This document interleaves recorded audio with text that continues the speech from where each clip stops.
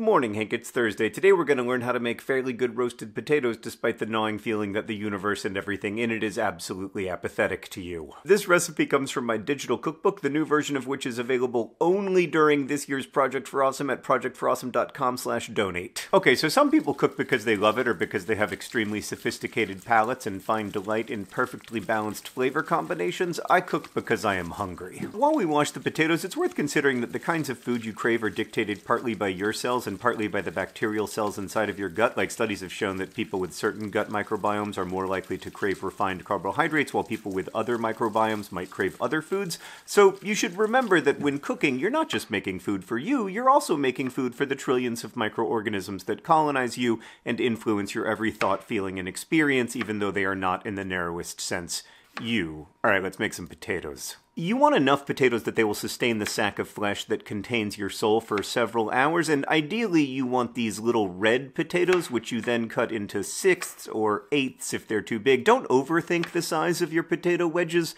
but also don't underthink it. This is a key not just for cooking, but also for most things. Spread those potatoes on a greased baking pan. Oh no, you forgot to preheat the oven to 350 degrees. Do that, or 375 if you want to take a risk and have fun. Now drizzle olive oil all over the potatoes and then sprinkle them with salt and pepper. Some people like to add garlic salt here, which is fine. I'm not going to judge. I mean, we're making a meal, not a spaceship. Next, wash your hands and consider if you have any herbs. Rosemary is ideal here. Thyme is also good. Oregano, I don't know, maybe if you're feeling it. Now sprinkle some herbs on top of those potatoes and mix it all together. Don't be afraid to get a little dirty. There's not enough joy in this world, so take the time to really feel a deep sense of kinship with these potatoes. These fellas were in the ground not long ago, growing in the soft dirt of Nebraska or Idaho or someplace you've never visited except to drive through. All right, that's enough. Now put them in the oven for 15 minutes. While you wait, read two paragraphs of a New Yorker piece about King Tut, but then start wondering whether King Tut died of tuberculosis, a question which can only be answered by your phone, where you learn that it turns out he might have died of a fractured femur. Anyway, since your phone is already out, you might as well check your email. And then, you know what, just one TikTok.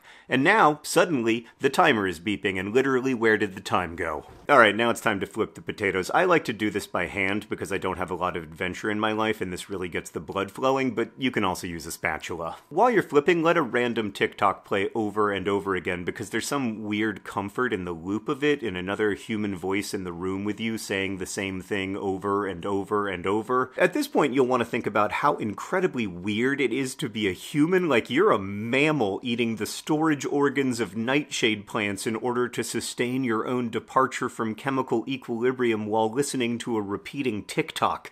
Don't think about this too much, though, or else you'll forget that the pan is still very hot and not use appropriate protective mitts. Now put the potatoes back in the oven for another 15 minutes and then take them out and debate whether they are done. If you're a risk averse person like me, leave them a little undercooked, but if you want to peer out over the edge of a great height, then put them back in the oven and try to time it perfectly so that the potatoes are browned but not burnt. Then pull them out probably a couple minutes too late and let them cool before enjoying. Hank, the fundraiser for the Project for Awesome is live now. You can get great perks at projectforawesome.com slash donate. The live stream starts at noon tomorrow. I will see you then.